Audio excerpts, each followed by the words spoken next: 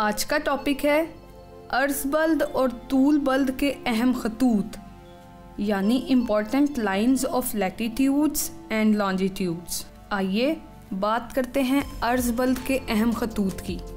عرض بلد کے اہم خطوط درج ذیل ہیں۔ خط استوا یعنی اکویٹر خط سرطان یعنی ٹراپک آف کینسر خط جدی یعنی ٹراپک آف کیپریکورن دائرہ کتب شمالی یعنی آرکٹک سرکل اور دائرہ کتب جنوبی یعنی انٹارکٹک سرکل۔ اب ہم بات کریں گے خط استوا یعنی اکویٹر کی۔ یہ صفر درجے کا عرض بلد ہے جو زمین کو دو برابر حصوں میں تقسیم کرتا ہے۔ دی گئی ڈائیگرام پر گول شکل ہماری زمین کو ظاہر کر رہی ہے۔ آپ دیکھ سکتے ہیں کہ مشرق سے مغرب کی طرف کھینچا گیا خط خط استوا یعنی اکویٹر ہے، جو زمین کو دو برابر حصوں میں تقسیم کر رہا ہے۔ آئیے اب بات کرتے ہیں خط سرطان یعنی ٹراپک آف کینسر کی۔ یہ خط خط استوا سے ساڑھے تیئیس درجے شمال میں واقع ہے۔ دی گئی ڈائیگرام میں آپ دیکھ سکتے ہیں کہ خط سرطان یعنی ٹراپک آف کینسر زمین کے شمالی حصے میں واقع ہے۔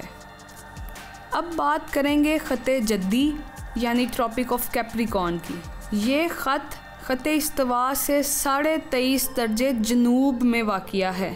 دی گئی ڈائیگرام میں آپ دیکھ سکتے ہیں کہ خط جدی یعنی ٹراپک آف کیپریکون زمین کے جنوبی حصے میں واقع ہے۔ اب بات کرتے ہیں دائرہ کتب شمالی یعنی آرکٹک سرکل کی۔ دائرہ کتب شمالی خط استوا سے ساڑھے چھیاسٹھ درجے شمال میں واقع ہے۔ دی گئی ڈائیگرام میں آپ دیکھ سکتے ہیں کہ دائرہ کتب شمالی یعنی آرکٹک سرکل زمین کے انتہائی شمالی حصے میں واقع ہے۔ اب بات کرتے ہیں دائرہ کتب جنوبی یعنی انٹارکٹک سرکل کی۔ دائرہ کتب جنوبی خط استوا سے ساڑھے چھیاسٹھ درجے جنوب میں واقع ہے۔ دی گئی ڈائیگرام میں آپ دیکھ سکتے ہیں کہ دائرہ کتب جنوبی یعنی انٹارکٹک سرکل زمین کے انتہائی جنوبی حصے میں واقع ہے۔ آئیے بات کریں طول بلد کے اہم خطوط یعنی امپورٹنٹ لائنز آف لانجیٹیوڈز کی۔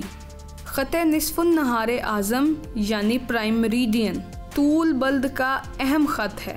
یہ فرضی خط انگلستان کے شہر گرینچ سے گزرتا ہے۔ اس کا درجہ صفر مانا جاتا ہے۔ یہ شمالی کتب کو جنوبی کتب سے ملاتا ہے۔ دی گئی ڈائیگرام میں آپ دیکھ سکتے ہیں کہ خط نصف النہار اعظم یعنی پرائم مریڈین شمال سے جنوب کی طرف کھینچا جاتا ہے۔ اب بات کریں گے طول بلد اور وقت کی۔ دیے گئے نقشے کی مدد سے ہم طول بلد اور وقت معلوم کرنے کے بارے میں جانیں گے۔ طول بلد کے لحاظ سے دنیا کو چوبیس ٹائم زونز میں تقسیم کیا گیا ہے۔ بارہ ٹائم زونز گرینچ کے مشرق میں اور بارہ ٹائم زونز گرینچ کے مغرب میں واقع ہیں۔ دنیا کے تمام ممالک خط نصف النہار اعظم یعنی پرائم مریڈین کے مطابق اپنا معیاری وقت یعنی سٹینڈرڈ ٹائم مقرر کرتے ہیں۔ جوں جوں ہم گرینچ سے مشرق کی طرف جاتے ہیں تو وقت میں اضافہ ہوتا ہے۔ جبکہ گرینچ سے مغرب کی طرف جاتے ہوئے وقت میں کمی واقع ہوتی ہے۔ امید ہے آپ کو آج کی ویڈیو پسند آئی ہوگی۔ مزید ویڈیوز کے لیے لاگ ان کریں ہماری ویب سائٹ ڈبلیو